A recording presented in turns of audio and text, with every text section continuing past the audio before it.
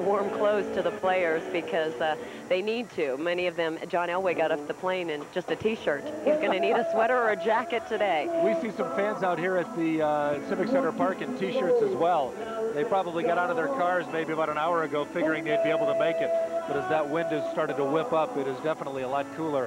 If you're going to be leaving home trying to race down here to catch the festivities, dress warm. And yeah. uh, Todd, or I should say Phil Keating reported some snow flurries uh, picking up uh, a few blocks up Broadway. Yeah, they might get that kind of a greeting when the parade actually begins.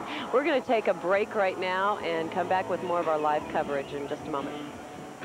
Denver first down now at their 20-yard line. They lead 10 to 3. Elway boots and rolls to his right, stops, loads it up, throws down deep the middle of the field. Rod Smith got it. Here we go. 30, 20. Right there as well, and uh, we may see Peggy Shanahan. I'm not exactly sure, but it looks like Annabelle's holding up the trophy there and um, beginning to rave to the crowds. And Neil Brown is right in that staging area at um, Coors Field. Uh, Neil, what can you see from your vantage point? We're just seeing number 53, the engine there with John and Jen and Elway. It is the second one that is in line there of this procession. They have put, of course, the Vince Lombardi trophy on number 87. We were thinking that they would have engine number seven out here, but that's not the case this year. So John Elway will be on engine number 53, which is the second in line. They are pulling out in formation now, and from what we understand, they will have the ramp shut off here coming to Park Avenue West. They will come back up the wrong way on the ramp, and then they will get a police escort down to the staging point, which is 20th and Broadway, where the parade will actually start here.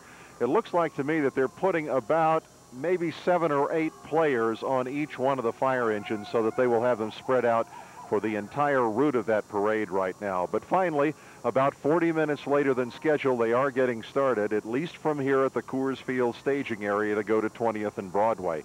This is, of course, ironic because it's been cold, blowing, and kind of windy here and cloudy. But just as soon as they started this parade, what does this tell you? The sun comes out and it shines brightly. This might be kind of interesting and at least a better visual for all of the people, for the players there, and for the cameras who are taking the shot. A lot of the uh, fire engine people and personnel, too, riding on the last couple that come out. And it seems like they put most of the support personnel on the two buses in the back. It's hard to see from here just exactly the faces involved, but it looks like that most of the players will be on the engines and a lot of the support personnel will be on the buses that will follow. So that's the way it looks right now.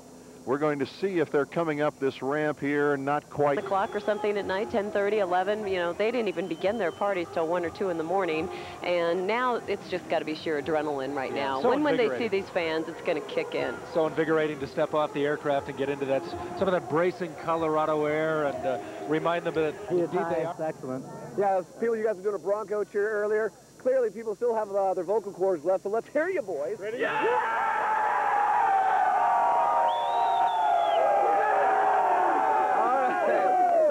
Gentlemen. Ray should be here, the fire trucks. I don't know. You can't even see them yet, but I think they're supposed to be rounding the corner, so maybe about two blocks away. Jim, I think your son skipped school today.